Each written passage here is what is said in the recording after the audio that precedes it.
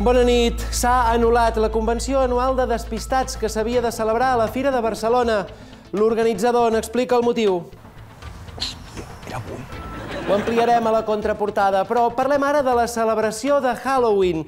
I és que ja sabem quines han estat les disfresses més terrorífiques d'enguany. Bueno, aquí tenim un clàssic de cada any, no? que és eh, la de jutge del Suprem. Després també hi ha una altra que ens demanen molt, que és la de banquer que t'ha de signar la hipoteca. Eh? I... Ai, la de mòmia. No, aquesta és la de lesionat del Barça. Malgrat tot, després de l'informe on s'exposa que més de 400.000 persones a Espanya haurien patit abusos per part de l'Església, la disfressa que més ha espantat a la canalla ha estat aquesta. Crida confit! Vine, entra. Que vols un caramel? La de mossèn. D'on va treure la idea de disfressar-se de mossèn per Halloween? Halo què?